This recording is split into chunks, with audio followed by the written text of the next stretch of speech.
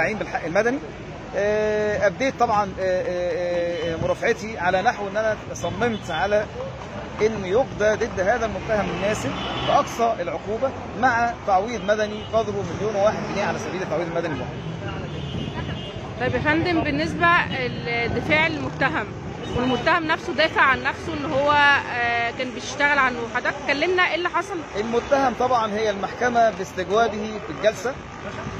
الخطيب بحاجه غريبة جدا بعد اعترافه إن هو راح جاي النهارده ابدى أقوال جديدة قال والله ده أنا آه، ما ما ما قتلتهاش اللي قتلها خطيبها ويدعى محمد شريك طبعا هو كلام حلاوة روح بس مجرد إنكار علشان يحاول بس يستدر عطف المحكمة بشكل أو بآخر ودفاع عن نفسه وليس له أساس لا من الواقع ولا من القانون ورغما من ذلك آه، طبعا يعني المحكمة في النهاية عملت ال- الآتي استمعت لمرافعه الدفاع المحامية أبدت بعض الدفوع الواهنة الضعيفة ناقشتها المحكمة قالت لها ولا أدل ولا أدل يا أستاذة إن هو اللي أرشد عن جثمان المتوفية رحمة مولاها. الضحية ياسمين يبقى أنت بتتكلمي في إيه؟ المحكمة عايزة تقول لها أنت يعني كل اللي بتقوليه ده هراء. هراء منبوس ما ملهوش أي حقيقة ولا واقع.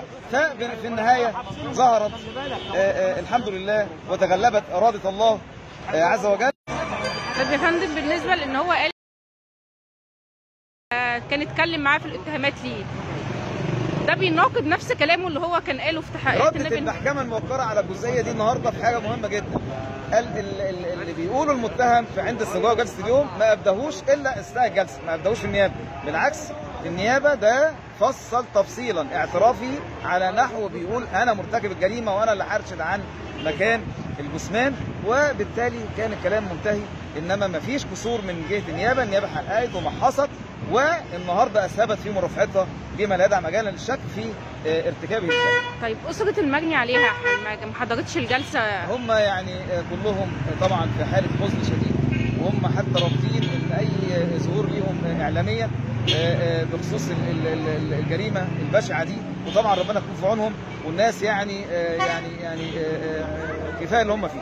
طب يا فندم عايزين بس نوضح للمشاهدين للمستمعين لينا حاجة. هي ال- ال- هو اللي كان اعترف على على القتل ولا كان آه، أهلها قالوا إن في هي متغيبة؟ يعني هو قال في الجلسة إن أهلها حتى ما كانوش لاحظوا إن هي متغيبة. إزاي؟ ده طبعا من أول وهلة ومنذ اختفائها كان شقيقها شقيقها جابر حرر محضر بغيابها وثابت ذلك وده بالاوراق ثابت آه طبعا ثابت بالأوراق منذ عام 2017 منذ اختفائها في البداية خالص وحرر هذا المحضر والمحضر راح تحريات وفضلت التحقيقات فيه مستمرة إلى أن تم ضمه بعد اكتشاف أمر هذا الفاعل الجاني. آه بعد ما اكتشفوا هم قدموا بلاغ تاني ضده؟ بالظبط كده يا فندم. فعمل إيه؟ آه، طبعا آه، ضم هذا المحضر الغياب للأوراق وأصبح آه، كائن واحد كلها كباكج واحد وقضية واحدة.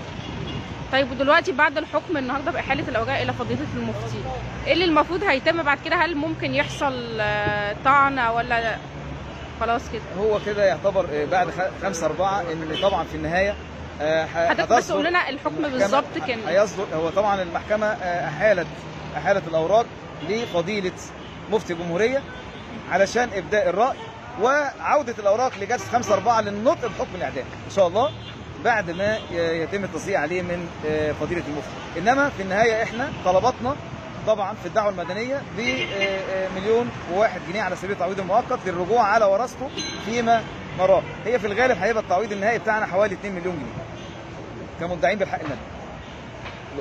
ال- المجني عليها ياسمين وفي أي طلبات تانية ليكم كنت موجودة؟ لا هي دي طلباتنا النهائية.